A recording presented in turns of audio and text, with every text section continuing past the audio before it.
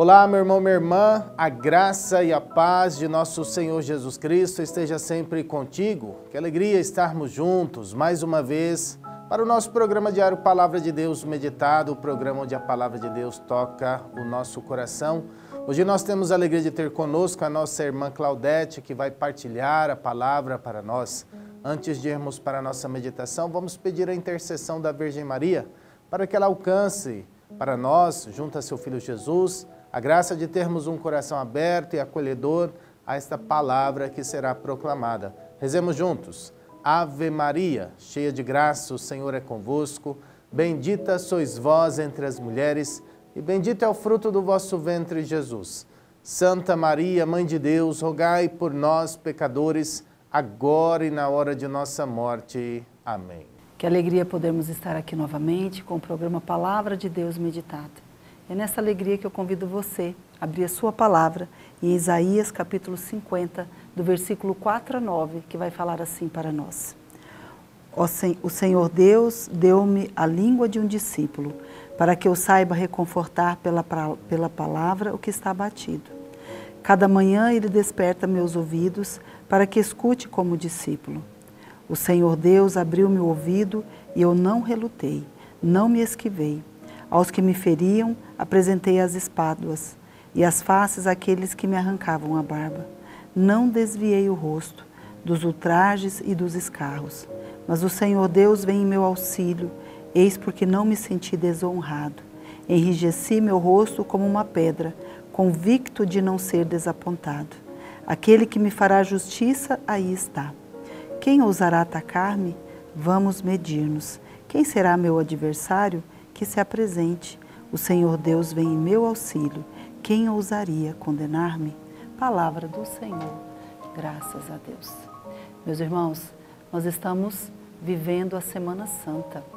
E realmente é a semana que nós vamos refletir todo o processo, toda a dor que Jesus passou por nós.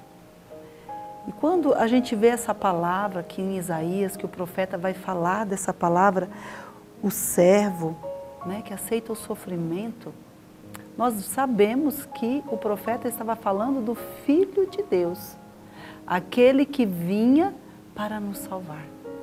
Sabe, meus irmãos, Deus, Ele é um Deus grandioso, perfeito e fiel. Deus, Ele é um Deus magnífico, um Deus que nos ama de tal maneira que Ele, o momento que o pecado adentrou no mundo, Deus já olhou para a humanidade com compaixão e já sabia o que iria fazer para nos salvar, para dar para mim e para você a chance de uma nova vez termos o direito da salvação, o direito do céu. Quando nós lemos uma leitura dessa, aonde nós vemos que está falando de Jesus Cristo, servo sofredor, aquele que veio para este mundo, aquele que veio para se doar, se entregar, aquele que veio sem nenhuma vontade própria, mas fazer a vontade de Deus Pai. Ele vai falar que Deus estava em auxílio dele, sim, no momento das suas dores. Por quê? Porque aqueles que estavam ao redor dele abandonaram, Aquelas pessoas que estavam ali, que ele confiava, sumiram perto dele, bateram nele, humilharam ele, né? Maltrataram, deram tudo aquilo que o mundo daria para as piores pessoas, que é a morte de cruz. E essa palavra vem falar que ele tinha certeza que Deus tinha um propósito para ele. Então Jesus, em nenhum momento, por mais que ele sofreu, por mais que ele passou as dores, porque ele era humano, em todos os momentos ele sabia que Deus era com ele. E que aquele sofrimento, meus irmãos, tinha um sentido, que aquele sofrimento tinha uma meta, que aquele sofrimento tinha um tempo para acontecer e um tempo para acabar, e ele sabia que a honra e a glória de Deus iria triunfar. Por quê? Porque ele sabia o que ele estava fazendo. Ele, sendo Deus, vem ao mundo sofrer por amor para salvar a minha vida, a minha história, né? me tirar do pecado. E fez a mesma coisa por mim e fez a mesma coisa por você. Mas Jesus passou o sofrimento porque ele sabia que ele, honrando o Pai, a vontade do Pai, ele iria sim ressuscitar.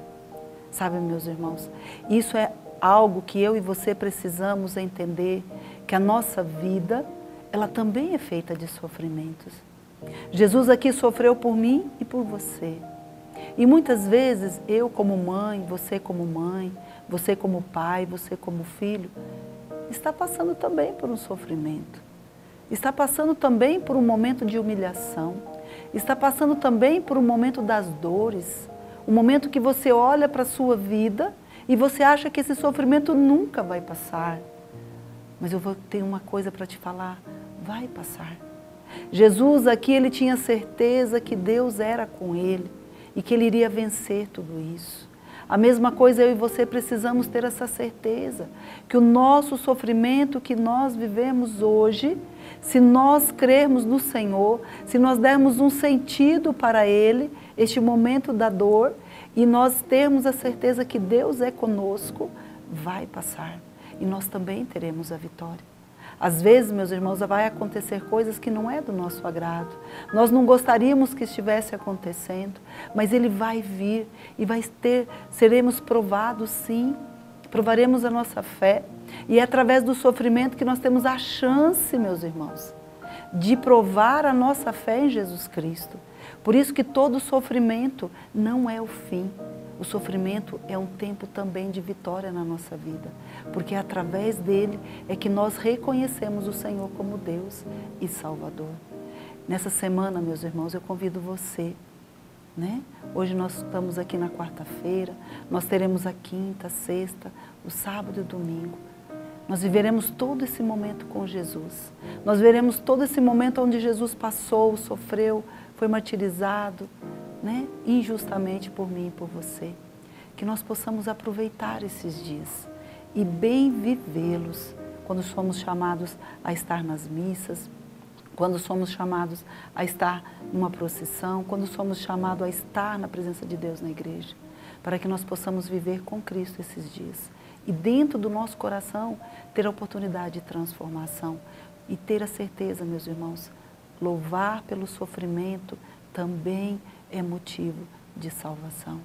Que eu e você possamos ter essa consciência que Jesus sofreu para nos salvar e que eu e você temos também o sofrimento para passar, mas com Deus tudo nós vamos superar. Que Deus te abençoe, que você tenha uma ótima Páscoa e que você viva com esse Jesus Cristo vivo e ressuscitado no seu coração e na sua vida. Louvado seja nosso Senhor Jesus Cristo, para sempre seja louvado.